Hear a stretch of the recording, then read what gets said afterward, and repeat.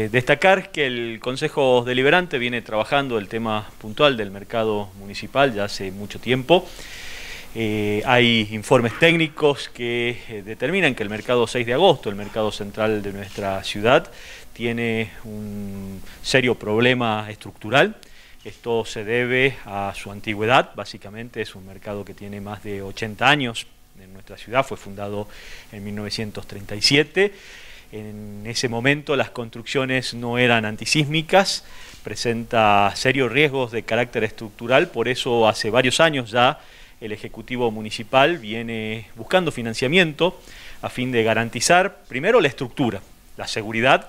de puesteros, la seguridad de vecinos que concurren a este edificio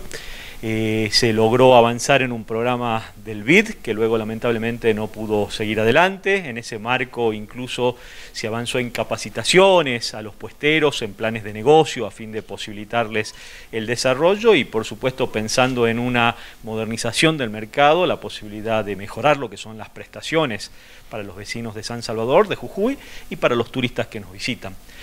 En ese marco, el año pasado se aprobó la ley del Plan Maestro Jujuy 2021-2023, donde se logró financiamiento provincial para esta obra, que luego fue convalidado en el presupuesto municipal, esto el año pasado, cuando se aprobó el presupuesto municipal, incluyendo esta importante obra para todos los vecinos en el presupuesto 2022. Y por supuesto que es una obra que eh, está prevista desarrollarse en nueve meses, que va a generar, como decía, fuentes de trabajo, va a generar la posibilidad de que obreros de la construcción, de que luego los puesteros vuelvan a ese espacio y puedan mejorar la calidad de servicio que prestan y por supuesto dar un nuevo espacio de desarrollo turístico, de desarrollo cultural, de desarrollo económico para San Salvador de Jujuy.